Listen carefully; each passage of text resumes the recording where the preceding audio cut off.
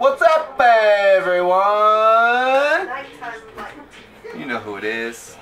And if you don't, you get to know him soon. So sit back and enjoy today's video.